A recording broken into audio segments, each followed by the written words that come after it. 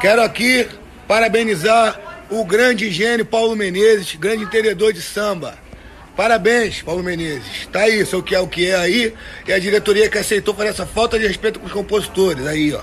No ano passado deram a China dinheiro pra gente compor, e a gente tirou um 10, um 99 e ajudou. Foi o único 10, um dos únicos 10 que a escola tirou.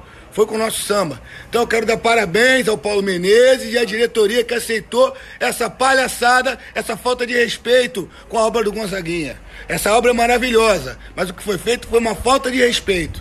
Tá bom, senhor Império Serrano? Parabéns. Ano que vem a gente desfila no grupo de acesso. A gente vai estar lá de novo. Parabéns para vocês que rebaixaram, acabaram com o Império. Vocês conseguiram rebaixar o Império duas vezes. O Império caiu, não caiu ninguém, o Império caiu de novo em último. No segundo quesito já tinha visto que o Império tinha caído. Parabéns, Paulo Menezes e toda a diretoria que fez essa palhaçada aí. Parabéns.